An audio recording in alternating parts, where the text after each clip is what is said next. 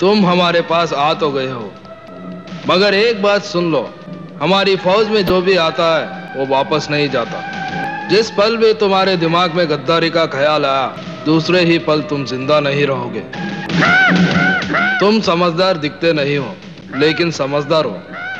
आज से तुम हमारे साथ हो। दोस्तों, इस वीडियो में हम बात करेंगे नब्बे के दशक के एक ऐसे अभिनेता के बारे में। जिसने उस टाइम पर फ़िल्मों में बहुत सारे खतरनाक नेगेटिव किरदार निभा के लोगों के दिलों में एक अलग ही पहचान बनाई थी, जिनकी फ़िल्म के अंदर एंट्री होने के टाइम पर बैकग्राउंड में एक अलग ही किस्म का म्यूज़िक बजता था और लोग उन्हें पर्दे पे देख के डर जाते थे और सोचने लगते थे कि अब पता नहीं क्या होने वाला है।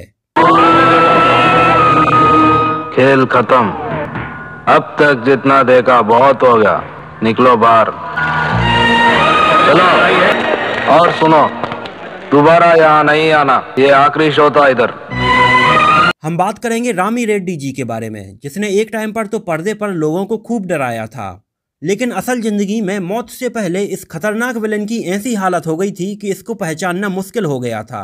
तो इस वीडियो के अंदर हम रामी रेड्डी की रियल लाइफ से जुड़े और उनके फिल्मी कैरियर से जुड़े कुछ ऐसे ही उतार और चढ़ाव के बारे में डिस्कस करने वाले हैं। तो आप चैनल को सब्सक्राइब कीजिए और वीडियो पूरा देखते रहिए। अगर आप नब्बे के दशक की फ़िल्में देखने का शौक रखते हैं तो आप रामी रेड्डी से भली भांति परिचित होंगे। लगभग हर फ़िल्म के अंदर उनके चेहरे पर एक जैसे ही सीरियस एक्सप्रेशंस होते थे, और साउथ इंडियन एक्सेंट में वो हमें खतरनाक हिंदी डायलॉग्स बोलते हुए दिखाई देते थे। इनका पूरा नाम है गंगा सानी रामी रेड्डी, जिनका जन्म सन उन्नीस सौ उनसठ में आंध्र प्रदेश के चित्तूर ज़िले के वाल्मीकिपुरम में हुआ था। रामी रेड्डी ने अपने शुरुआती दिनों में स्कूल की पढ़ाई पूरी कंप्लीट करने के बाद हैदराबाद की उस्मानिया यूनिवर्सिटी से पत्रकारिता के क्षेत्र में उन्होंने अपना ग्रेजुएशन कंप्लीट किया और अपनी पत्रकारिता की पूरी पढ़ाई कंप्लीट करने के बाद उन्होंने कुछ दिनों तक लोकल न्यूज़पेपर्स में नौकरी भी की। लेकिन पत्रकारिता की नौकरी करने में रामी रेड्डी का कुछ खास मन नहीं लग रहा था। उनका मन था फ़िल्मों में काम करने का। और इसी सिलसिले में उनकी उस टाइम पर मुलाकात हुई तेलुगु फ़िल्म इंडस्ट्री के एक जाने माने प्रोड्यूसर एम. श्याम प्रसाद रेड्डी से, जो कि उस टाइम पर अपनी फ़िल्म अंकुशम के लिए काम कर रहे थे। और उस टाइम पर तेलुगु फ़िल्म अंकुशम में काम करने के लिए एकदम नए और खतरनाक चेहरे वाले विलेन की तलाश की जा रही थी। और रामी रेड्डी से मिलने के बाद श्याम प्रसाद रेड्डी उनसे काफ़ी इम्प्रेस हुए और उन्होंने अपनी फ़िल्म अंकुशम के अंदर विलेन का रोल ऑफ़र किया और रामी रेड्डी इसमें काम करने के लिए तुरंत तैयार हो गए। और जब 1990 में फ़िल्म अंकुशम बनकर रिलीज़ हुई तो फ़िल्म के अंदर रामी रेड्डी को उनके द्वारा निभाए गए विलेन के किरदार स्पॉट नागा को काफ़ी पसंद किया गया। और रामी रेड्डी को अपनी पहली ही फ़िल्म से काफ़ी पॉपुलैरिटी मिली और लोगों के द्वारा उन्हें नोटिस किया जाने लगा।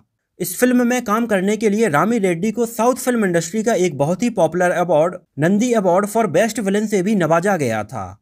और इसके बाद कुछ और तेलुगु और कन्नड़ फ़िल्मों में ऐसे ही कैरेक्टर रोल प्ले करने के बाद, दोबारा से तेलुगु फ़िल्म अंकुशम का हिंदी में रीमेक प्रतिबंध के नाम से बनाने का प्लान किया गया। और फ़िल्म प्रतिबंध के अंदर भी रामी रेड्डी को उनके रोल स्पॉट नाना के लिए कास्ट किया गया।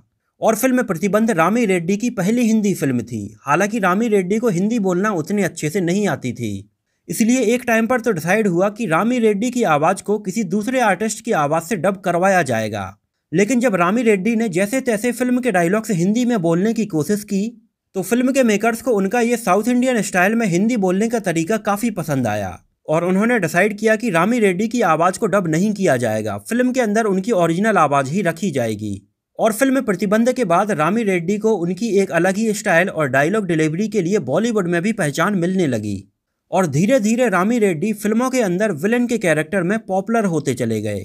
और आगे चलकर बॉलीवुड में उनकी दूसरी फ़िल्म थी, सन उन्नीस सौ तिरानवे में आई अक्षय कुमार और सुनील शेट्टी की फ़िल्म वक्त हमारा है, जिसमें उन्होंने एक खूंखार विलन कर्नल चिकारा का किरदार निभाया था।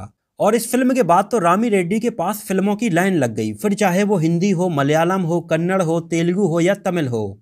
लगभग हर भाषाओं की फ़िल्मों में रामी रेड्डी को विलेन के तौर पर कास्ट करने की डिमांड बढ़ने लगी। और आगे उनकी कुछ और पॉपुलर हिंदी फ़िल्में थीं, जैसे दिलवाले, खुददार, अंगरक्षक, आंदोलन, हकीकत, और इनके अलावा और भी बहुत सारी फ़िल्में। और इन फ़िल्मों में वो हमें ज़्यादातर नेगेटिव किरदार में ही नज़र आए थे। हालाँकि सन उन्नीस में आई फ़िल्म शपथ और इसके अलावा एक दो और फ़िल्मों के अंदर रामी रेड्डी हमें सरप्राइजिंगली एक पॉजिटिव किरदार में भी नज़र आए थे, लेकिन फ़िल्मों में उन्हें पहचान और ज़्यादातर निगेटिव किरदारों में ही पसंद किया गया था। हालाँकि इसी बीच में रामी रेड्डी ने डायरेक्टर और प्रोड्यूसर बनने के लिए भी ट्राई किया था, लेकिन वो वहाँ पर सफल नहीं हो पाए थे और दोबारा से फ़िल्मों में केवल एक्टिंग बस करने लगे। लेकिन बॉलीवुड में जैसे जैसे नब्बे का दशक खत्म हुआ और एक्शन फ़िल्मों की डिमांड थोड़ी कम हुई और रामी रेड्डी को बॉलीवुड में पहले जैसा काम मिलना बंद हो गया। तो रामी रेड्डी ने अपना पूरा रुख अब तेलुगु फ़िल्म इंडस्ट्री की तरफ़ किया, जहाँ पर अभी भी एक्शन फ़िल्मों की काफ़ी डिमांड थी। और रामी रेड्डी को तेलुगु सिनेमा में आगे कुछ सालों तक तो काम मिला, लेकिन आगे चलकर रामी रेड्डी की किडनी और लीवर में काफ़ी इन्फेक्शन हो गया, जिसकी वजह से उनकी तबीयत काफ़ी ख़राब रहने लगी। और तबीयत खराब होने की वजह से रामी रेड्डी उस टाइम पर काफ़ी अकेले रहने लगे, और उन्होंने मीडिया से और लोगों से अपनी काफ़ी दूरी बढ़ा ली। और कई सालों तक तो रामी रेड्डी मीडिया के सामने कहीं भी नज़र नहीं आए। लेकिन अचानक से एक इवेंट के दौरान रामी रेड्डी दिखाई दिए और लोग उन्हें देखकर अचानक से सॉक्ड हो गए। काफ़ी टाइम तक तो लोग उन्हें पहचान नहीं पाए और लोगों को यकीन नहीं हो रहा था कि ये नब्बे के दशक का वही खतरनाक विलन है, जिसकी फ़िल्मों के अंदर एंट्री होने के टाइम पर ही लोग डरने लगते थे, लेकिन आज उसकी ऐसी हालत हो रही है। रामी रेड्डी ने उस फ़ंक्शन में थोड़ी देर बातचीत की और उसके बाद वो ज़्यादातर किसी और फ़ंक्शन में हमें नज़र नहीं आए। और लगभग अलग अलग भाषाओं की 250 से भी ज़्यादा फ़िल्मों में काम करने वाले रामी रेड्डी की सन 2011 को सिकंदराबाद के एक प्राइवेट हॉस्पिटल में डेथ हो गई थी। और रामी रेड्डी तो हमारे बीच नहीं हैं, लेकिन फ़िल्मों में उनके द्वारा निभाए गए खतरनाक विलेंस के कैरेक्टर आज भी लोगों को फ़िल्म देखते टाइम पर डराने में उतने ही सक्षम हैं।